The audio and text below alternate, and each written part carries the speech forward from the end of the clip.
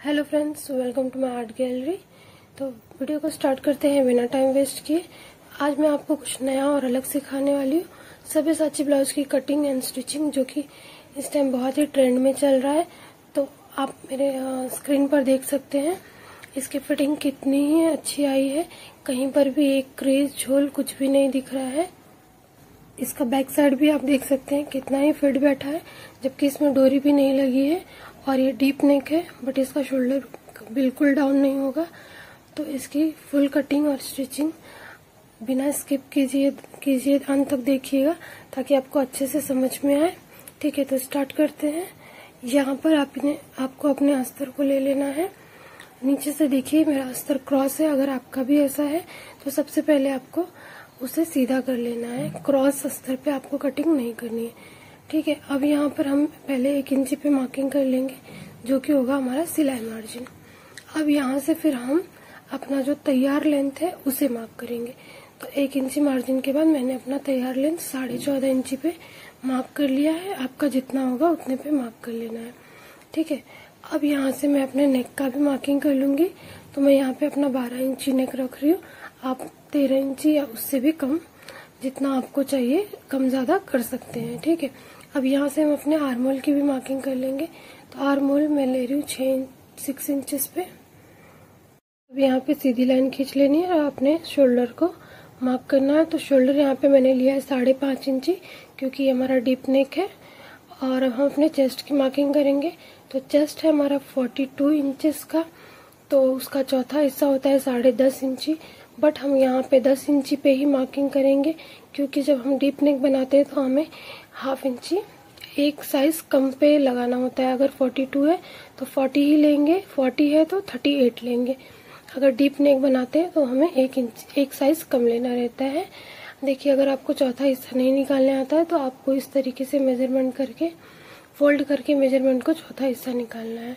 अब हमारा जो वेस्ट है, वो है थर्टी सिक्स इंचज का। तो उसमें मैं यहाँ पे नौ इंची लूँगी। उसमें प्लस वन इंची करेंगे टक्स की मार्जिन को। मार्किंग प्लस दो इंची हम अपना सिलाई मार्जिन लेंगे। अब दोनों पॉइंट्स को मिला देंगे और सीधी लाइन खींच देंगे इस तरीके से। अब हम अपने आर्मोल की, आर्मोल का शेप देंगे। तो ये हमारा बैक पार्ट है।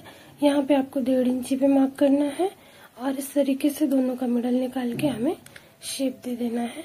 यहाँ से आपको हाफ़ इंची नीचे की तरफ़ डाउन करना है। उससे हमारी फिटिंग अच्छी आती है। अब आगे की तरफ़ हम हाफ़ इंची डाउन कर देंगे क्योंकि ये हमारा डीप नेक है। देखिए, इस तरीके से। अब यहाँ से भी आपको हाफ़ इंची ऊपर की तरफ़ इस तरीके से क्रॉस लाइन दे देनी है। जब हमारा डीप नेक होता है, आगे से हम हाफ़ इंची लेते हैं तो यहाँ से भी फिटिंग के साइड भी आपको हाफ़ इंची लेना है।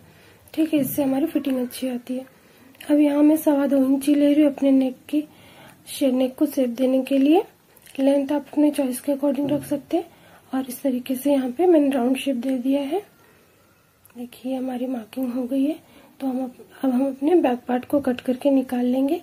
अब इसमें हमें और कोई भी चेंजेस नहीं करना है। तो यहाँ पे हमारा बैक पार्ट रेडी हो गया है। अभी जो हमने हाफ़ इंच ऊपर की तरफ़ लिया है, उसे हम कट करके नहीं निकालेंगे। पहले हम अपने फ्रंट पार्ट का कटिंग मार्किंग कर लेंगे, फिर हम उसे कट करके निकालेंगे। ठीक है? तो फ्रेंड्स अगर आपको मेरी वीडियो अच्छी लग रही हो तो प्लीज़ मेरे वीडियो को लाइक कर देना और चैनल को सब्सक्राइब कर देना। ऐसे और वीडियो देखने और सीखने के लिए। अब हम अपने फ्रंट पार्ट की कटिंग करेंगे। तो फ्रंट पार्ट की कटिंग के लिए हम डायरेक्ट कपड़े पे कट नहीं करेंगे। हम उस सबसे पहले पेपर पे कटिंग करेंगे, क्योंकि उसे बढ़ाना भी होता है। अगर आपका अस्तर बड़ा है तो आप डायरेक्ट भी कटिंग कर सकते हैं उस पर ही बढ़ाने के लिए। बट उससे कपड़ा बहुत वेस्ट होता है, इसलिए पहले आपको हाँ पेपर पे कट कर लेना है, फिर कपड़े पे रख के बढ़ाना है। ठीक है? तो यहाँ सबसे पहले हम हाफ़ इंची एक्स्ट्रा ले लेंगे। देखिए, इस तरीके से लाइन को सीधा करना है, फिर हाफ़ इंची नीचे की तरफ़ हमें एक्स्ट्रा लेना है, हमारे फ्रंट आगे के साइड भी हमें हाफ़ इंची एक्स्ट्रा लेना है, हमारी हुकाई पट्टी के लिए। तो आगे की भी साइड आपको इस तरीके से हाफ़ इंची एक्स्ट्रा ले लेना है। अब हमें अपने इस तरीके से बैक बैक पार्ट को रखना है।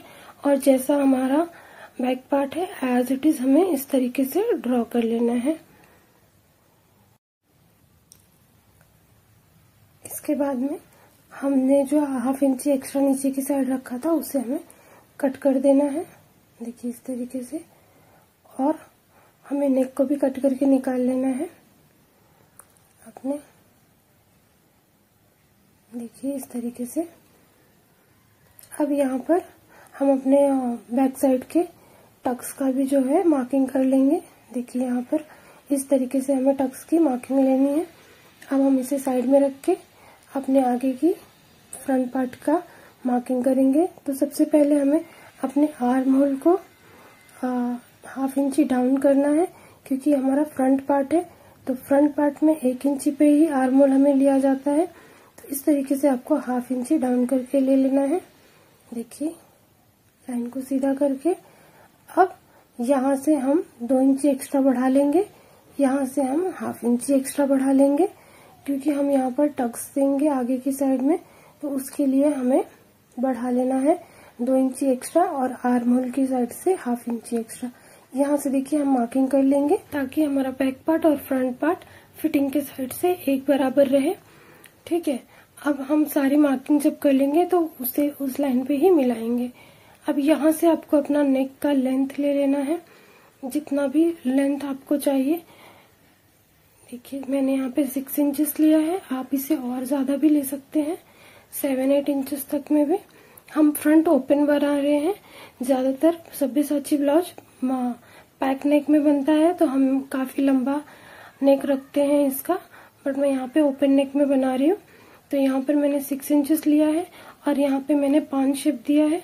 आप अपने चॉइस के अकॉर्डिंग कोई भी शेप दे सकते हैं बट ज़्यादातर इसमें पान नेक ही चलता है। अब यहाँ से हमें अपना चेस्ट का जो लेंथ है वो ले लेना है। जितना भी हमारा चेस्ट है, उसमें प्लस वन इंची करके हमें ले लेना है। देखिए, यहाँ से नीचे दो इंची हमें डाउन जाना है और एक सीधी लाइन खींच देनी है। इस तरीके से। अब यहाँ से भी हम अपने चेस्ट का दसवा भाग ले लेंगे। इस साइड से हमें चेस्ट का दसवा भाग लेना है। ऊपर से हमें चेस्ट प्लस वन इंची करके मार्किंग करनी है। अब यहाँ से मैंने आगे साइड से हाफ़ इंची एक्स्ट्रा लिया है और उस साइड से हमें दो इंची एक्स्ट्रा लेना है। टोटल ढाई इंची का हमारा टक्स रेडी होगा। देखिए इस तरीके से निशान बना लेना है हमें। तो यहाँ पे मैंने टक्स की मार्किंग कर ली है।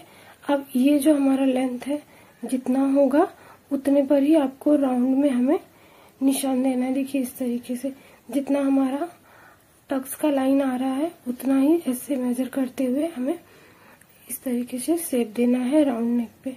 अब यहाँ पर आप चाहें तो हाफ़ इंची टक्स दे सकते हैं या नहीं भी दे सकते हैं, ये ऑप्शनल है बट मैं यहाँ पर दे रही हूँ ताकि ये हमारा फुल बस्ट साइज़ है, इसके लिए अगर छोटे साइज़ में आप नहीं भी देंगे तो भी चलेगा।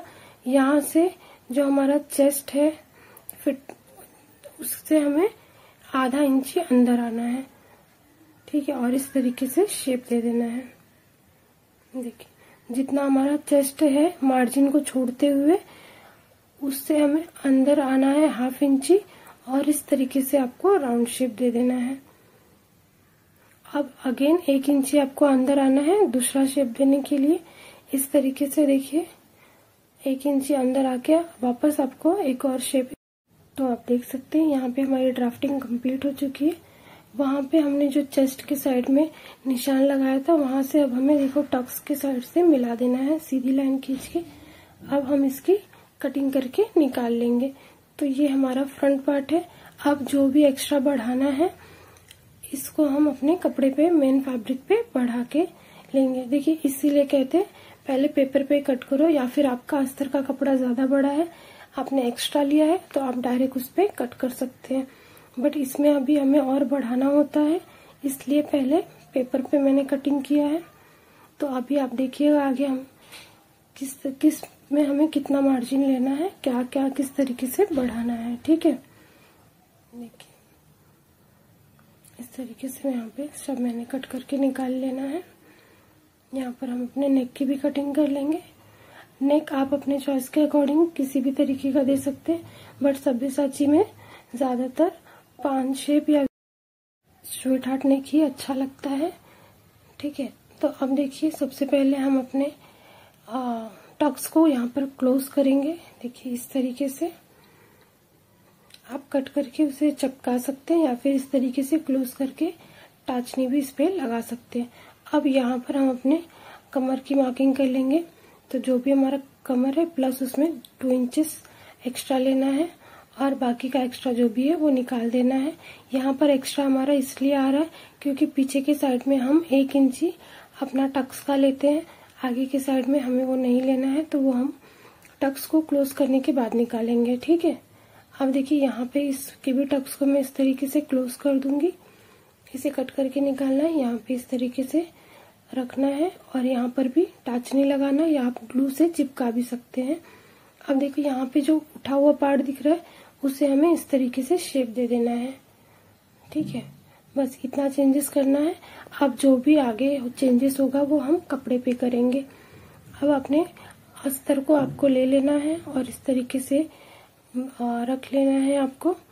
और सबको वन बाय वन करके रखना है। अब यहाँ पर देखिए कि क्या क्या चेंजेस आपको करना है। तो सब जगह पे पहले आपको कपड़े को रख के देख लेना है आपका कपड़ा कहाँ पर एडजस्ट हो रहा है उसके बाद में ही आपको निशान लगाना है।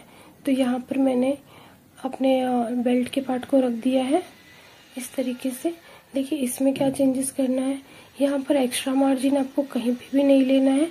जितना भी हमारा आ, ये इसका साइज़ है सिर्फ़ उतना ही लेना है। बस चेंज आपको देखो यहाँ पे करना है। यहाँ पर इस तरीके से उठाते हुए आपको राउंड शेप दे देना है। जो झुका हुआ मतलब कोना उसमें निकला है, वैसा शेप नहीं देना है। थोड़ा सा उठा के अच्छे से हमें प्रॉपर राउंड शेप देना है। ठीक है? अब अपने इस पार्ट को भी हम जैसा है, वैसा का वैसा ड्रॉ कर लेंगे सबसे पहले। देखिए, इस तरीके से ड्रॉ कर लेना है आपको। अब यहाँ पर हमें हाफ़ इंची मार्जिन लेना है, लेकिन सिर्फ़ नीचे के साइड से बाकी कहीं पर भी हमें कुछ भी चेंज नहीं करना है। देखिए, मैंने यहाँ पे इसको ड्रॉ कर लिया है यहाँ हटा देंगे। तो नीचे के साइड में सिर्फ़ आपको हाफ़ इंची एक्स्ट्रा लेना है, हमारा सिलाई मार्जिन का। देखिए, बिल्कुल इस तरीके से। हम्म। अब यहाँ पर देखिए, मैंने सेकंड पार्ट को भी ले लिया मैंने बाय मिस्टेकली गलत ड्रॉ कर दिया था। वहाँ पे एक्स्ट्रा मार्जिन के लिए मैंने कपड़ा नहीं छोड़ा था, इसलिए मैं वापस से ड्रॉ कर रही हूँ। देखिए, यहाँ पे मैंने नीचे की साइड को एज इट इज़ ड्रॉ करना, बाकी जो ऊपर का हमारा शेप है, उसको इस तरीके से सीधा लाइन देना है, उसको उसके शेप में नहीं देना है, ठीक है? अब इसमें हमें दोनों साइड हाफ़ हाफ़ इंची मार्जिन का एक्स्ट्रा ले लेना है इस तरीके से। देखिए, ध्यान रखना जो आपका नीचे का सेकेंड पार्ट है उसको उसके शेप में नहीं देना है। सीधा रखते हुए स्केल हमारा रखना है और सीधा लाइन खींच लेनी है। अब हम इन सब पार्ट की कटिंग करके निकाल लेंगे। देखिए, इस तरीके से। बचे हुए कपड़े में अब हम अपने स्लीव्स की कटिंग करेंगे, जो हमारा एक्स्ट्रा बचा हुआ अस्तर का पीस है। तो स्लीव्स की कटिंग होती है हमारी फोर फोल्ड में। तो इस तरीके से कपड़े को फोल्ड करना है आपको। देखिए, और हमें स्लीव्स की कटिंग करनी है। तो आपका जो भी लेंथ है प्लस वन इंची करके आपको लेना है। तो तैयार है मेरा चार इंची उसमें प्लस वन इंची करके मैं लूँगी। तो ये हमारा होगा फाइव इंचेस का। अब यहाँ पर डेढ़ इंची नीचे आना है आपको, और इस तरीके से सीधी लाइन खींचनी है। और यहाँ पर अपने चेस्ट का जो भी मार्क मेजर है चेस्ट प्लस टू इंची हमें मार्जिन का लेना है और इस तरीके से शेप दे देना है हमें। जो भी हमारा चेस्ट है प्लस उसमें टू इंची करके हमें निशान लगा के इस तरीके से शेप देना है। देखिए। अब नीचे के साइड से जो भी हमारे स्लीव्स की फिटिंग है, वो लेना है आपको प्लस उसमें दो इंची करना है और इस तरीके से हमें मिला देना है। अब इसे कट करके निकाल लेंगे। देखिए हाफ़ इंची का जो हम आगे के साइड कट देते हैं, वो हम स्टिचिंग के टाइम पे देंगे। इसलिए क्योंकि कभी कभी सिलाई के टाइम पे हम दोनों ही एक साइड ही सिल देते हैं, इसलिए आपको उसे सिलाई के टाइम पर ही देना है, ठीक है? अब इन सबको हम अपने मेन फैब्रिक पे इस तरीके से रखेंगे और कट करके निकाल लेंगे। देखिए, इस तरीके से यहाँ से मैं अपना स्लीव्स भी निकाल लूँगी। पहले कपड़े को कट करने से पहले आपको सारे पार्ट्स को रख के एक बार चेक करना है। फिर ही कट करना है कि आपका सारा कपड़ा कहाँ कहाँ एडजस्ट हो रहा है, ठीक है? हम इसकी स्टिचिंग करेंगे।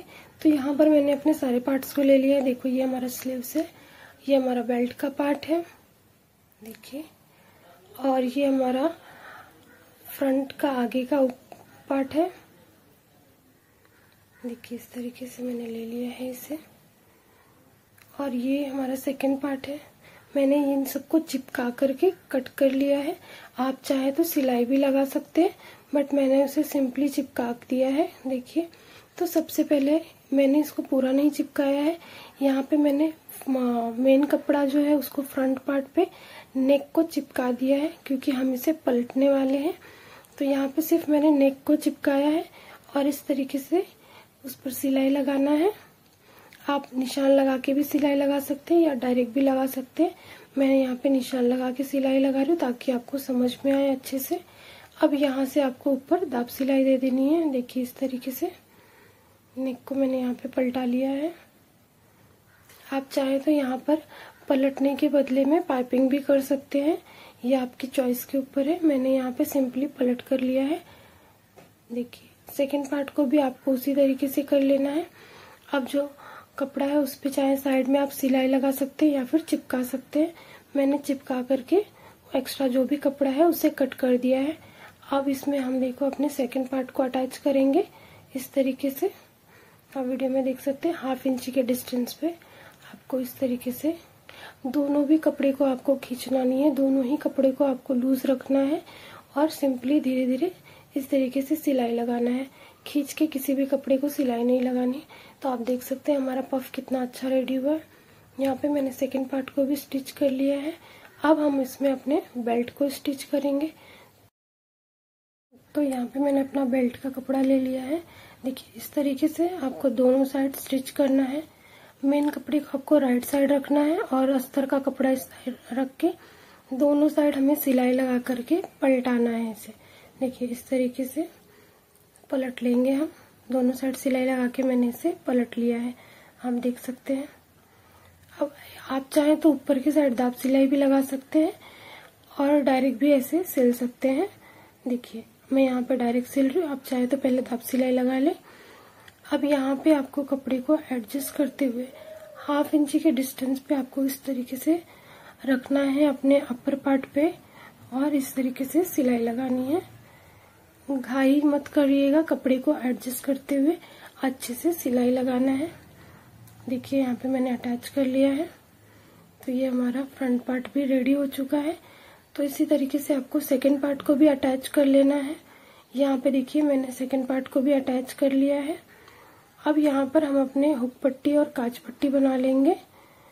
देखिए, इस तरीके से हमें अपनी हुकाई पट्टी और काच पट्टी दोनों साइड बना लेनी है। मैं अस्तर के कपड़े से ही बना रही हूँ, क्योंकि मेरा मेन फैब्रिक जो है वो बचा नहीं है। तो इसकी वजह से मैं अस्तर के कपड़े से बचा रही हूँ। अगर बना रही हूँ, अगर आपके पास मेन फैब्रिक है तो उसमें आपको मेन फैब्रिक को भी अटैच करना है। इस तरीके से मैंने दोनों भी पट्टियाँ रेडी कर लेनी है। मैं थोड़ा स्पीड में बता रही हूँ, ताकि वीडियो ज़्यादा लंबी ना हो जाए। आई होप कि आप लोगों को हुक पट्टी और काच पट्टी तो बनानी आती ही होगी, अगर नहीं आती है तो आप मेरे और वीडियोस में देख सकते हैं, जिसमें मैंने एक्सप्लेन किया है। देखिए, हमारी ये जो भी है, एकदम बराबर है। यहाँ पर मैंने बैक पार्ट को रेडी कर लिया है। अब यहाँ पर देखिए, हमें शोल्डर को अटैच कर लेना है अपने, इस तरीके से रख के। अब यहाँ पर मैं जो भी एक्स्ट्रा दिख रहा है, उसे कट करके निकाल दूँगी। देखिए, आप यहाँ पे देख सकते हैं, मैंने अटैच कर लिया है अपने शोल्डर को। ये सब हमारी नॉर्मल स्टिचेस है आप मेरे दूसरे वीडियोस में देख सकते हैं, जिसमें मैंने डिटेल में एक्सप्लेन किया है। तो यहाँ पे मैंने स्लीव्स को भी अटैच कर लिया है। स्लीव्स का मैंने कैसे कटिंग और स्टिच किया है, उसका लिंक आपको मेरे डिस्क्रिप्शन में मिल जाएगा। तो यहाँ पर देखो, ध्यान क्या रखना है, जो भी डिज़ाइन आप बनाते हैं मेक श्योर करें कि वो आपका सेंटर में आना चाहिए शोल्डर के एकदम। नहीं तो फिर वो पहनने के बाद में अच्छा नहीं दिखेगा। अब यहाँ से फोल्ड करना है आपको। बैक पार्ट को और जो भी आपका फिटिंग लाइन है, उसका मेज़रमेंट लगा लेना है। यहाँ पर आपको स्लीव्स का भी अपना मेज़रमेंट ले लेना है। और इस तरीके से आप चाहे तो सीधी लाइन खींच के भी सिलाई लगा सकते हैं, या फिर डायरेक्ट दोनों पॉइंट पर सीधी लाइन सिलाई कर सकते हैं। अगर आपको फिटिंग करना हो, गाय पट्टी काश पट्टी, इसमें नहीं समझ में आया हो अगर आपको नहीं आता है तो आप मेरी दूसरी वीडियो में देख सकते हैं। वीडियो लंबी ना हो जाए, इसलिए मैंने थोड़ा फटाफट बता दिया है।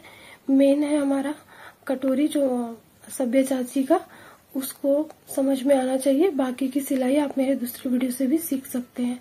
तो यहाँ पर देखिए हमारा फाइनल लुक हमारी सिलाई एकदम कट टू कट बराबर आई है। यहाँ पे मैंने इसमें फिटिंग लगा लिया है। देख सकते हैं आप, मेरा ब्लाउज बन के रेडी हो गया है। आई होप कि आपको मेरा वीडियो पसंद आया हो। तो वीडियो को लाइक करना शेयर करना कमेंट करना मत भूलना। अगर कुछ डाउट है तो प्लीज़ कमेंट करें।